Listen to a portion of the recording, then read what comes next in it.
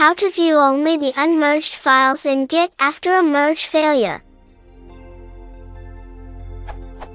While merging some of the files failed to merge. Shows both the successful and failed merges. How to view only the unsuccessful merge files, conflict. Currently I am using the following command to do this.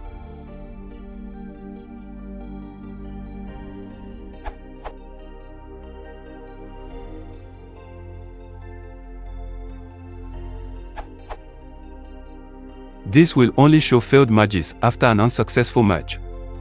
It has many options to configure what information you want to see. I suspect this is the exact option you are after.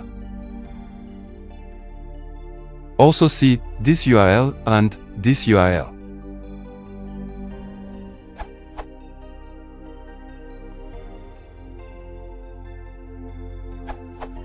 Try this.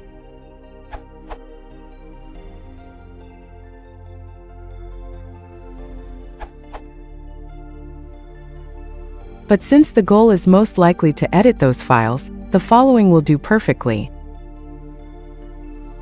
Or in Windows with Versus Code. Thanks to at Jan's comment from another answer for inspiration.